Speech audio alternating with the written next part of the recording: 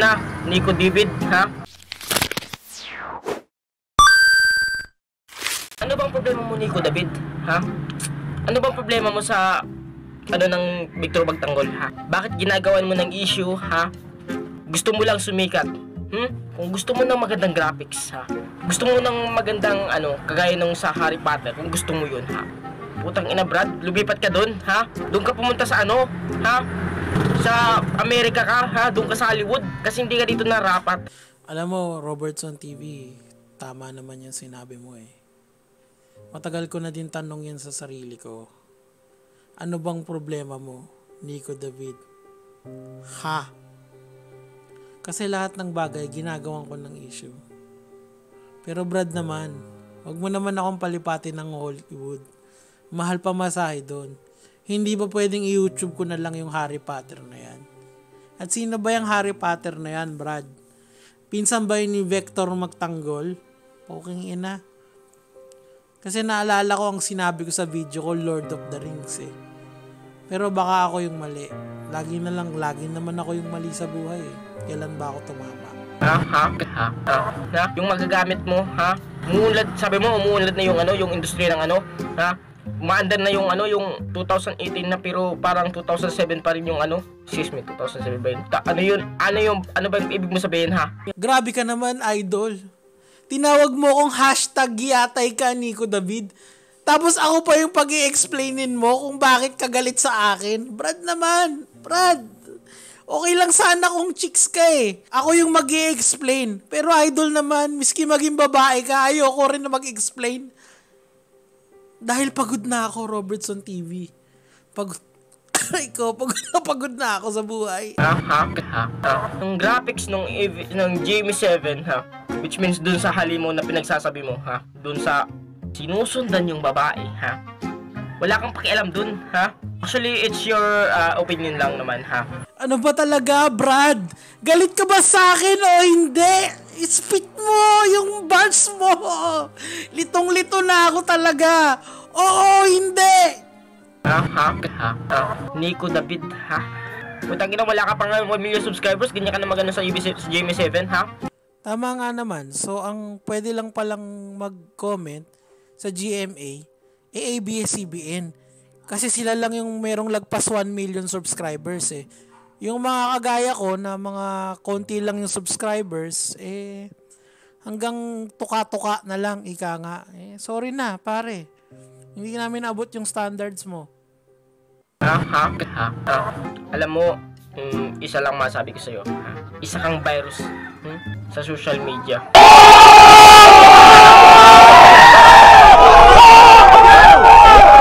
Putang ina yung mga comment na yan, ha? Kaya naman kaya yun mag, ano, mag, mag-edit, ha? Ibenta niyo na yung TV niyo, ha? Puro kayo satsat eh, ha? Bakit marunong ba kayo mag-edit, ha? Eh, commenters lang naman kayo, ha? Wala kayong kwenta, ha? Putang ina, Brad, iba na yan.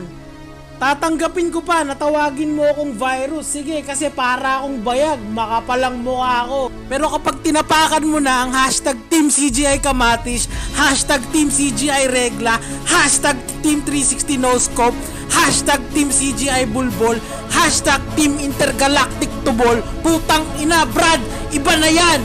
Gusto mo ng bars, putang ina, pagbibigyan kita. Mukha kasing walang bars dyan sa bahay nyo eh. Tamang kamot ka ng kili-kili, king ina ka eh.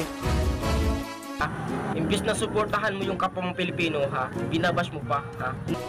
Eh anong tawag mo doon sa mga nagko-comment sa akin? Tanga, Indiano? Hindi porke mukha kang binalatan na unggoy, isasama mo din kami, hoy! Alam mo ba, puking ina mong tubol ka na yung si Alden Richards, eh hindi yan pure Pinoy? Marunong ka bang magbasa tang ina ka? Basa muna kasi bagong awa. Hindi mo pwedeng sabihin wala kang internet boy eh. Panay upload mo sa YouTube tang inang unggoy ka. Ngayon, tatanungin kita kung sino mas Pilipino sa amin. Yang si Alden Richards mo o yung sandatahang kamatis ko. Tang ina ka. Ha? Marunong ka nun?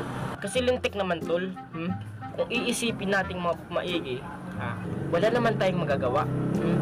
Makakasakit lang tayo kung makakapanakit lang tayo ng damdamin ng isang tao. Ha? Which means hindi ka makatao. Ha? Kung makapanikit ka.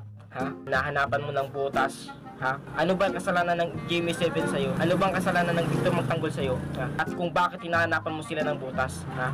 Para lang makapanira ka? Ha? Eh Bobo, yung mismong pinapangaral mo, applicable din sa'yo.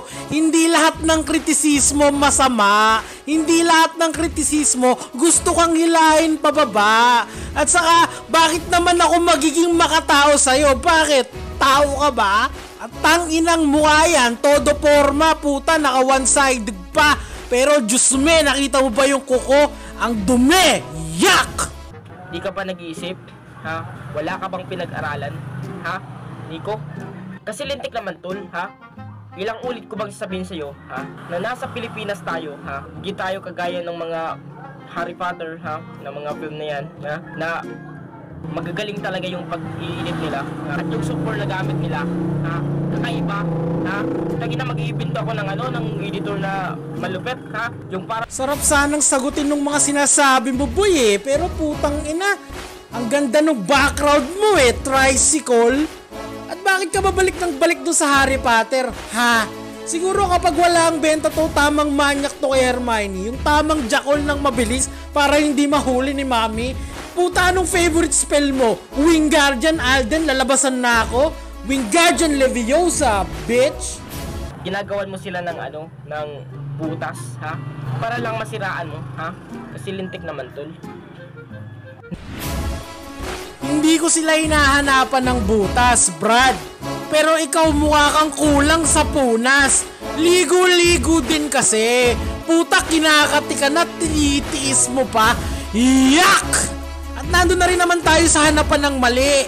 Inisa-isa ko yung video mo, tanga. Nakita ko iisa pa lang bumili ng sipilyo mo. Two weeks apart pa. O baka naman ikaw yung dumilensya ng sipilyo, Brad. Pero tamang mindset yan, kapatid. Miski dalawang linggo yung pagitan ng paligo mo, at least naliligo. Yan ang gusto ko sa'yo, lumalaban.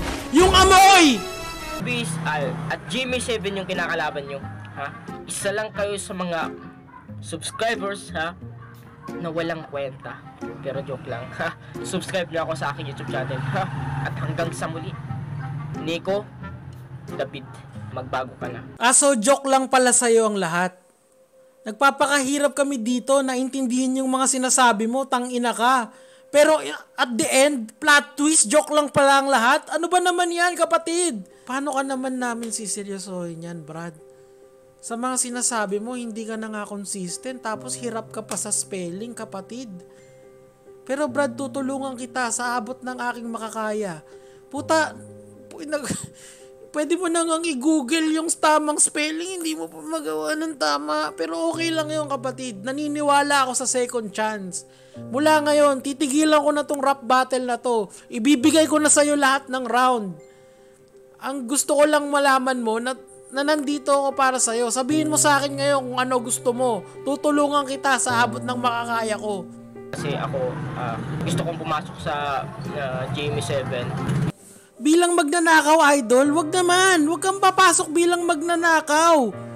Wag kang maging akyat bahay, may pag-asa pa ang buhay. Wag kang ilaban mo yan, tol. Mamasukan ka as janitor, mamamasukan ako as shift manager mo. Pwede na yon, di ba? O kung hindi man head janitor ako, ikaw yung janitor. O ako, o ikaw na yung head. Ako na yung ano, yung janitor lang. Pero wag tayong magnakaw, tol. Masama maging akyat bahay, Brad. Lalo na ngayon, uso tukhang, pre. Mukhang kandidato ka pa ng tukhang, tol.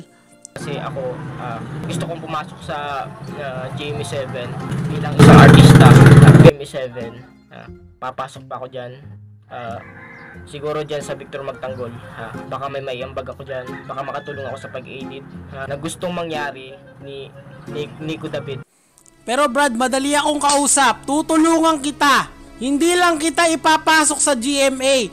Tutulungan din kitang makapasok sa PBB. Putang inang yan.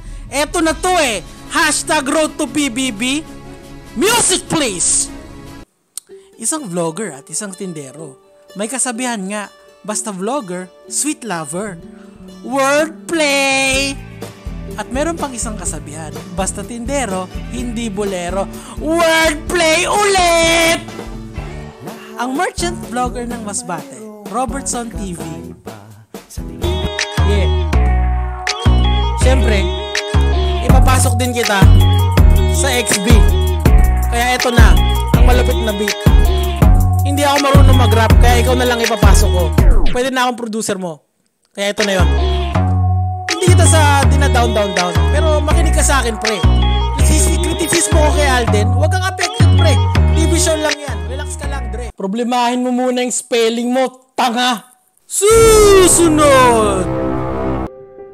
Kung ako'y mag-aasawa, ang pipiliin ko'y ano?